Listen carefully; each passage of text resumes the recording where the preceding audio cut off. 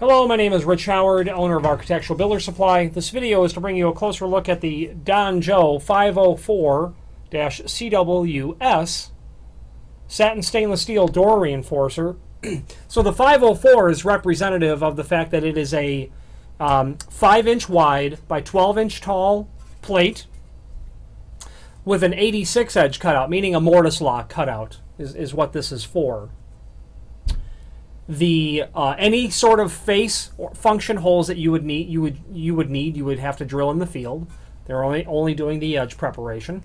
And let's go back to the dimensions and double check that. We said it was 5 inch wide. That appears to be correct. Then 12 inches tall. That appears to be correct as well.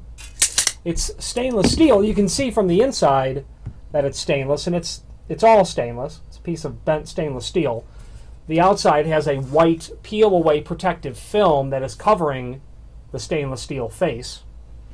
Bolts, through bolts are included, which would be for the holes here and here. So that would be through bolted through the door. And then you're going to get two 1224 flathead screws. You'll see it right there, the two smaller ones in the corner of the bag.